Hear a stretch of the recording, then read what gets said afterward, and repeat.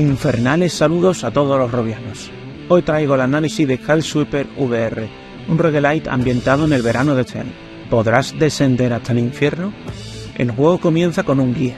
Este guía será un molesto insecto que amenazará con molestarnos si no le obedecemos en todo lo que nos dice. Y es que, ¿a quién no le ha molestado alguna vez algún mosquito de forma muy insistente hasta la desesperación? En ese punto ya nos sentiremos en el mismísimo infierno y se meterá dentro de nuestra oreja para que no pasemos de sus instrucciones tendremos acceso a un breve tutorial al inicio del juego que pondrá sobre la mesa mecánicas básicas como disparar o recargar, pero para aprender todos los secretos que el juego esconde y diferentes formas de ejecutar a los enemigos deberemos ir aprendiendo sobre la marcha. Y es que Hellsweeper VR no quiere ser evidente y deja a la elección de los jugadores la velocidad a la que ellos quieren adaptarse a su propuesta jugable. Tendremos a nuestra disposición toda una serie de armas de corto y largo alcance e incluso magias, desde pistolas a espadas, pasando por habilidades útiles en contienda, como el doble salto o flotar en el aire para poder darle mayor verticalidad al título. Incluso tendremos acceso a un lindo perrito mode, por llamarlo de alguna forma, que nos acompañará durante la aventura. El Sweeper se compone de 18 niveles divididos en tres actos diferentes. Al final de cada acto tendremos que enfrentarnos a un jefe final,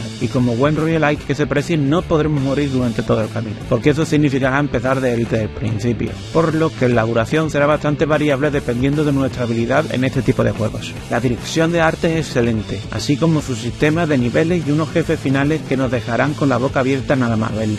El audio está perfectamente implementado y nos ayuda a entender desde dónde nos están atacando los enemigos en todo momento y si detrás de nosotros hay alguien que quiera acabar con nuestra vida. Hellsweeper VR es una nueva propuesta roguelike que destaca por su apartado artístico, duración e infinidad de posibilidades en su ejecución. Juega solo o con un amigo en esta frenética propuesta en la que el movimiento es uno de los puntos más importantes y en ciertas ocasiones nos recuerda al timing jugable de otros títulos como Doom. Su jugabilidad no será apta para todo tipo de jugadores y no recomendamos la experiencia para novatos en VR, ya que tendrían que jugar con teletransporte y se pierde esa explosividad en el movimiento tan importante para comprender al 100% lo que quiere poner sobre la mesa de estudio. Un chute de adrenalina para los amantes de los juegos de acción en los roguelike y quizá un buen punto de iniciación si dudas sobre si este tipo de juegos son para ti. En definitiva, muy buen juego. Como positivo destacamos la infinidad de posibilidades en su combate, que es un juego largo y rejugable y también su frenetismo y dirección artística. Y por la parte negativa o menos positiva, la poca variedad de entornos.